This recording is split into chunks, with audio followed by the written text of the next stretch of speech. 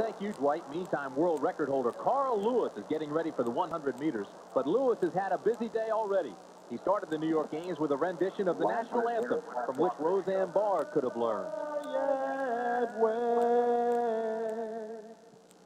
For the land of the free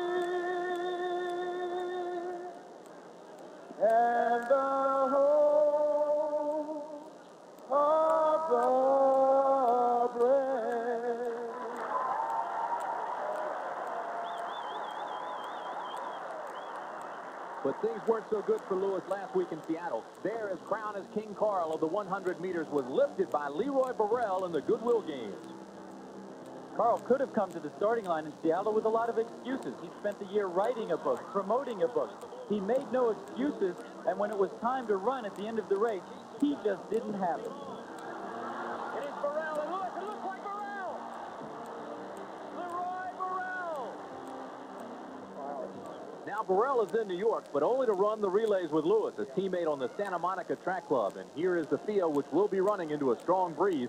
Winds have been gusting up to 15 miles per hour today. Lewis will be in lane four.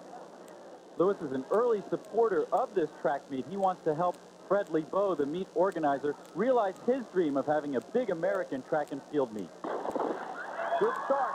McRae and Simone out quickly. Simone in red with the lead. But here comes Lewis. Lewis sliding to the front. Lewis will win it. Followed by Marsh and Williams.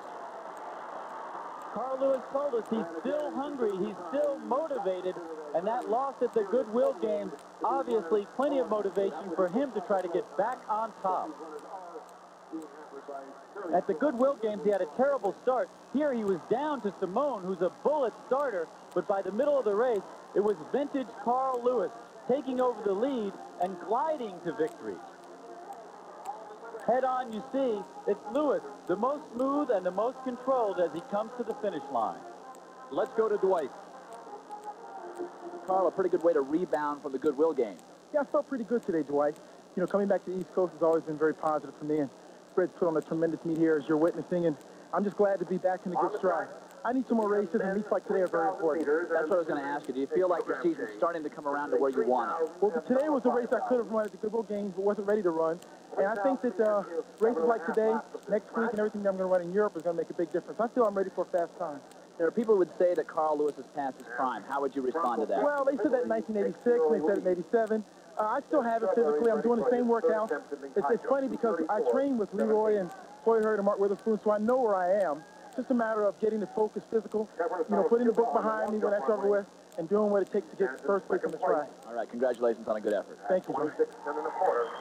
The official time is 10.39 into that strong wind measured at 15 miles per hour. Mike Marsh was second with Patrick Williams third. So Carl Lewis and the rest of us will be back after this message.